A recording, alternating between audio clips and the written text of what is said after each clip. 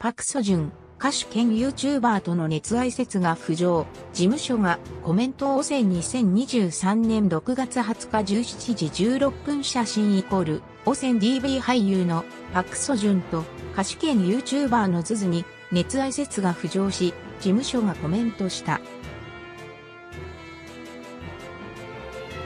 所属事務所であるオーサムエントの関係者は本日20日、汚染との取材を通じて、熱愛説と関する内容は、プライベートであるため確認が難しい点、ご了承願うと公式コメントした。この日、オンラインコミュニティを中心に、パクソジュンとズズが知人たちと一緒に撮った写真が拡散され、二人の熱愛説が浮上した。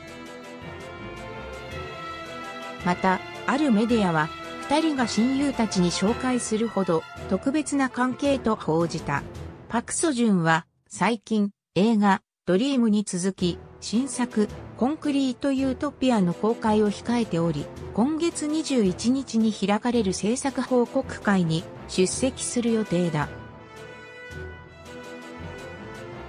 報道後、初めて取材陣の前に登場する彼が熱愛説についてコメントするのか注目が集まっている。ズズはチャンネル登録者数が154万人を超える YouTuber 兼歌手だ。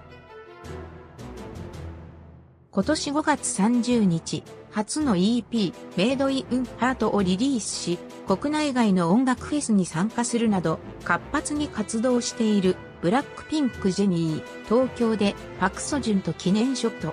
華やかなファッションに注目、イ・ビョンホンパクソジュンパクボヨン出演の映画、コンクリートユートピア日本を含む世界152カ国で先行販売写真イコールズズの SNS 元記事、配信日時、2023年6月20日15時40分記者、ヨンフィソン、